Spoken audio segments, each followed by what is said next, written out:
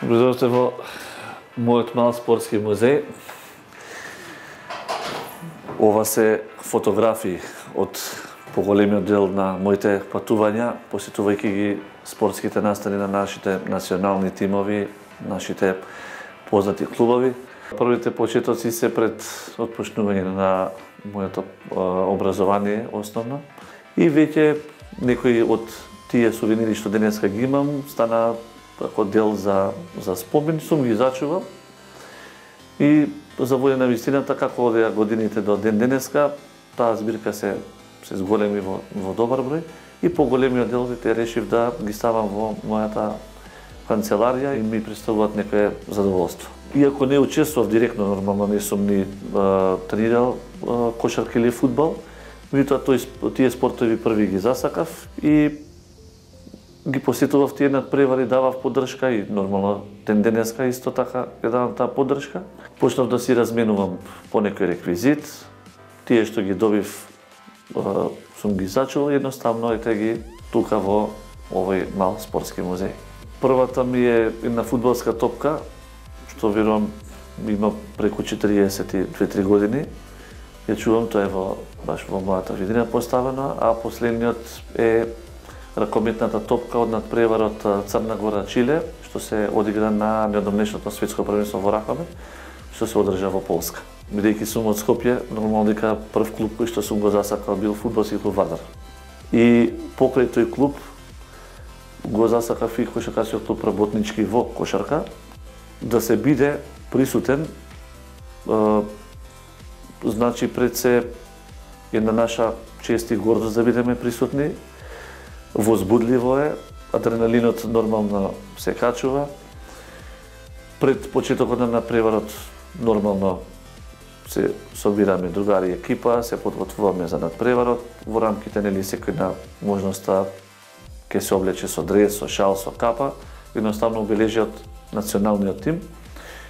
И заедно присутни на тој надпревар даваме максимална поддршка, ги пееме навивачките песни Јас не сум член на ниту една навивачка група, меѓутоа секогаш сум до нив, со нив заедно и во било која дружба заедно се работи за Македонија, за спортска Македонија. Едноставно, таму темата е спорт. Бидејќи каде да се појавиме, предизвикуваме огромно внимание. Посебно каде што се нашите фан зони, значи дали е тоа кошарка, фудбал, ракомет, одбојка, голем број инострански екипи, ТВ екипи, новинари доаѓаат да направат некој запис, некоја снимка и да објават во нивните држави, што за нас причинува големо задоволство и веќе на првенствата на вистина кога ќе се појавиме, самите луѓе кажуваат дека едноставно уживаат да бидат со нас или покрај нас. Најголем и најбав спомен ми се со македонските спортисти. Тоа е факт. Иако постојат и голем број на светски звезди, меѓутоа јас си ги почитувам првен македонските спортисти, па сите останати. Па вака, тие автограми сум ги добил прилична средба со нив. Дали било после на преварот или ете во некоја ситуација има случајна средба или на некој патување сме се сретнале. Меѓутоа, сите биле максимално коректни, дури ми е често ете од некој од друг град или држава, им бара автограм, и со срце и они исто така. Дале, сум ги зачувал, ете ми е убав спомен, например, од странските спортисти, би сакал еден ден да го сретнам Меси, направена фотографија за спомен, бидејќи сепак остави берег во светскиот фудбал, па не само на мене, него и на многумина кои што го сакаат фудбалот, е нивни идол.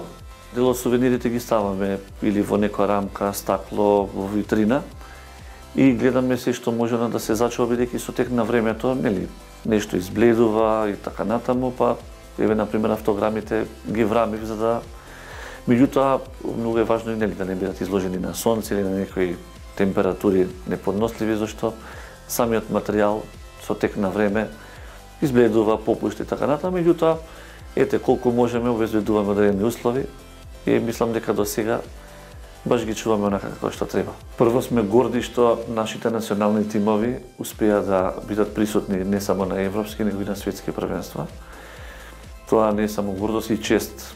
Зошто? Затоа што до вчера како држава сме биле аутсайдери и така и не сметале. Сега сме рамо до рамо со големи европски и светски е, спортски тимови. Тоа го докажавме и во фудбалот, во ракометот, во кошарката. Навиваме цело време, даваме поддршка.